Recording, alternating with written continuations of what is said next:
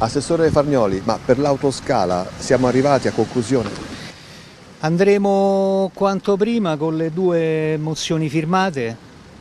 e votate all'unanimità dal sottosegretario Prisco che peraltro è anche un nostro collega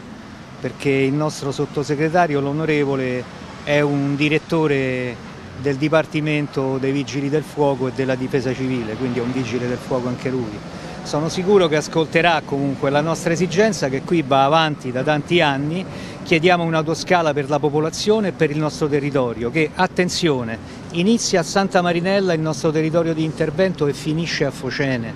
quindi un'autoscala purtroppo ancora è indispensabile, è soprattutto indispensabile.